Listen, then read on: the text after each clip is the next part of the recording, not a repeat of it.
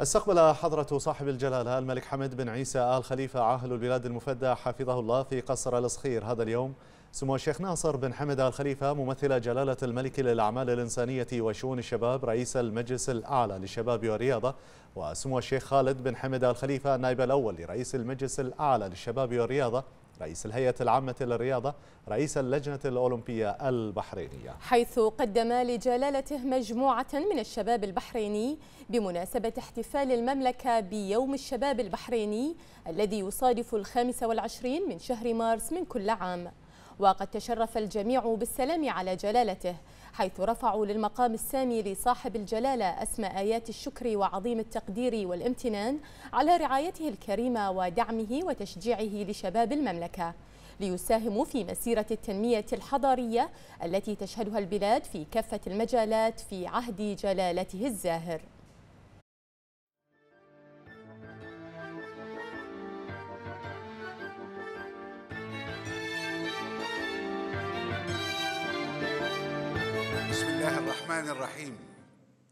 سيدي حضرة صاحب الجلالة الملك حمد بن عيسى آل خليفة ملك البلاد المفدى حفظه الله ورعاه.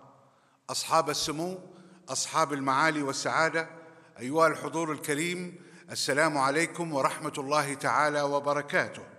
يسعدنا أن نرحب بكم في هذا الاحتفال بيوم الشباب البحريني وخير ما نبدأ به تلاوة عطرة من القرآن الكريم يتلوها على مسامعنا القارئ علي صلاح عمر. أعوذ بالله من الشيطان الرجيم.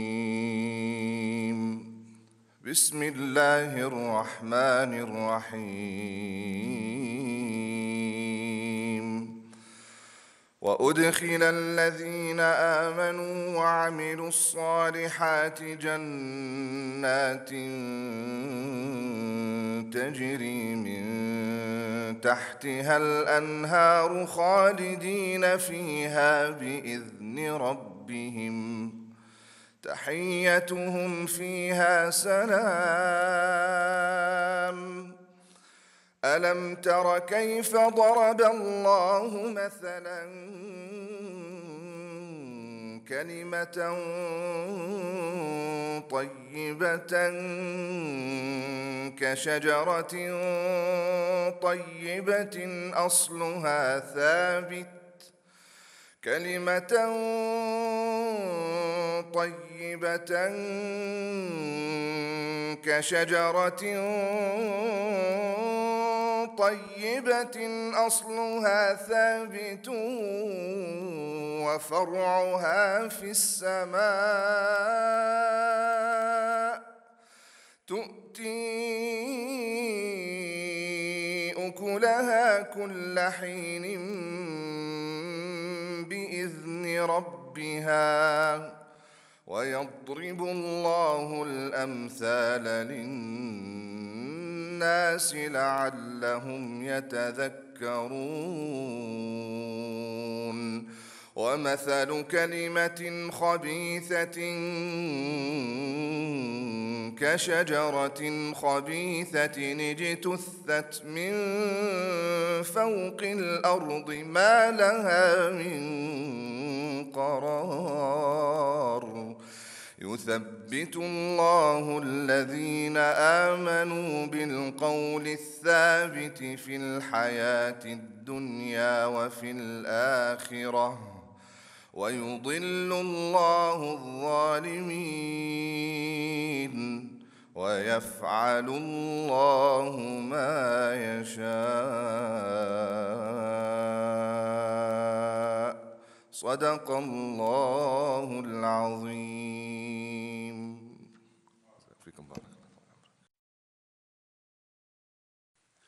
يتفضل سيدي حضرة صاحب الجلالة الملك حمد بن عيسى آل خليفة ملك البلاد المفدى حفظه الله ورعاه بإلقاء كلمة بهذه المناسبة. بسم الله الرحمن الرحيم. السلام عليكم ورحمة الله وبركاته. إنه لمن دواعي الاعتزاز ومن منطلق الاهتمام الوطني الكبير بشؤون الشباب والحرص على متابعة أدائه تحقيقا لتطلعاته. أن نتوجه لهم في يومهم هذا بكثير من التقدير لما يقدمونه من جهد مخلص لرفعة وتقدم البحرين الغالية.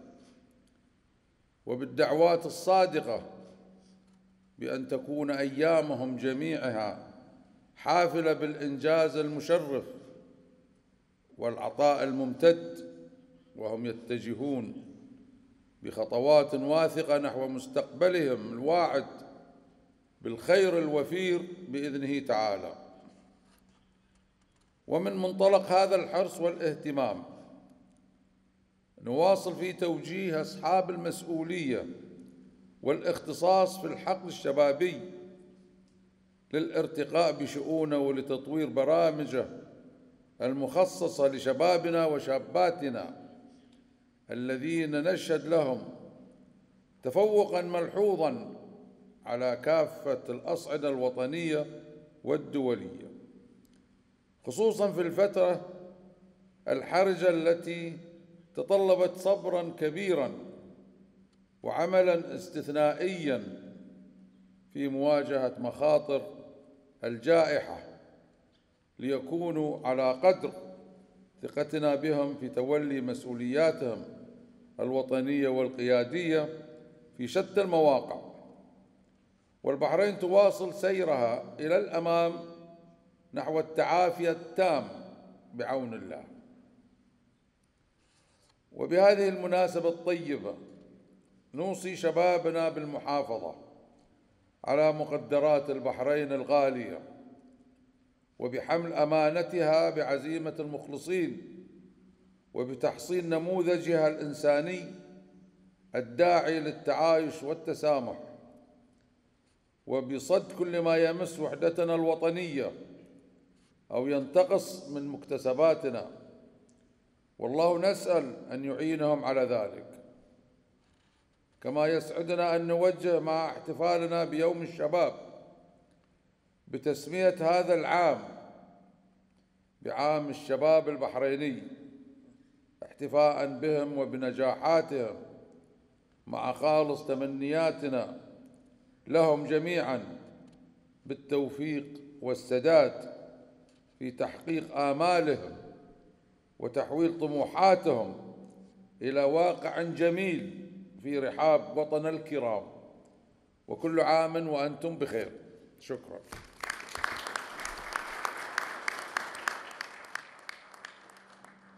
يلقي سعادة السيد أيمن بن توفيق المؤيد وزير شؤون الشباب والرياضة كلمة بهذه المناسبة. بسم الله الرحمن الرحيم. سيدي حضرة صاحب الجلالة الملك حمد بن عيسى الخليفة عاهل البلاد المفدى حفظكم الله ورعاكم. اليوم يا صاحب الجلالة يحصد شباب البحرين ثمار رؤية جلالتكم واستثماركم. وقد ترعرع هذا الجيل الواعد في ظل برنامج جلالتكم الإصلاحي النبيل واستجاب لنداء جلالتكم وهو نداء القلب والعقل. والذي أطلقه جلالتكم كجزء من سلسلة الأحاديث في الوعي الوطني.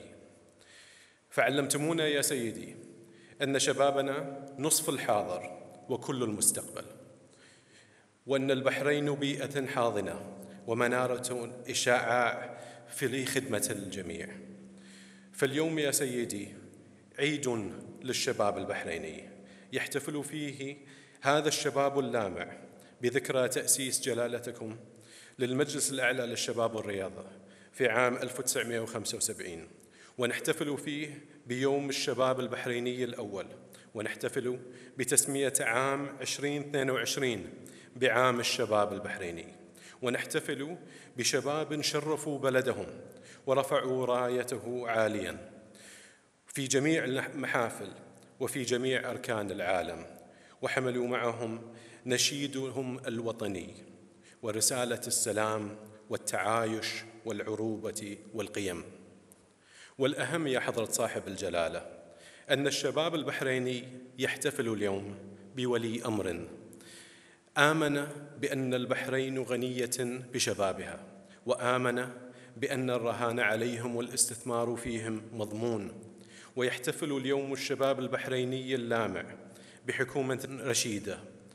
وضعت ملف شؤون الشباب في قلب البرنامج الحكومي الذي يشرف عليه صاحب السمو الملكي الأمير سلمان بن حمد آل خليفة ولي العهد رئيس مجلس الوزراء حفظه الله ورعاه. ويحتفل الشباب البحريني بشيخ الشباب ممثل جلالتكم للأعمال الإنسانية وشؤون الشباب. سمو الشيخ ناصر بن حمد آل خليفة حفظه الله ورعاه الذي يقود ملف الشباب بروح الشباب وبطاقم من الشباب والذي فتح لهم الفرص والبيبان وصقل مهاراتهم حتى أصبح الشباب البحريني نخبة من نخب شباب العالم إلى أن جعل سموه من البحرين عاصمة للشباب وواحة من الأمل. وأخيرا صاحب الجلاله يحتفل الشباب البحريني اليوم بإنجازات وبرامج لا سابق لها في المنطقة.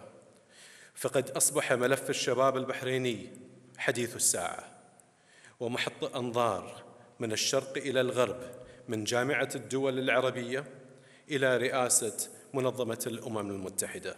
هذه الإنجازات يا سيدي ما هي إلا ثمار رؤية جلالتكم. فالشكر لكم يا صاحب الجلالة. من جيل لامع ممتن ومحب جيل يعاهد جلالتكم على مواصلة الإنجاز والتألق وأن يمثلوا المملكة ورؤية جلالتكم خير تمثيل. وكل عام وجلالتكم والشباب البحريني بخير. ودمتم سيدي الداعم الأول للشباب البحريني ولهذا الوطن المعطاء والسلام عليكم ورحمة الله وبركاته.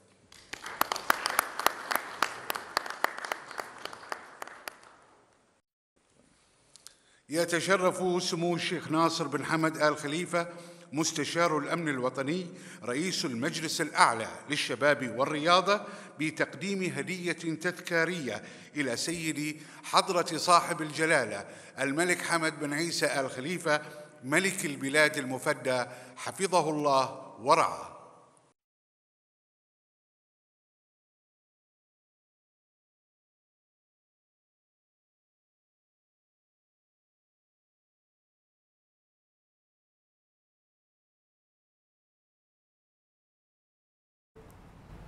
وقد وجه حضرة صاحب الجلالة الملك المفدى حفظه الله ورعاه بتسمية أحد شوارع المملكة باسم شارع الشباب البحريني اعتزازا بدورهم في خدمة وطنهم وتقديرا لعملهم الدؤوب في تطوير مهاراتهم من أجل بناء مستقبل زاهر لهذا الوطن.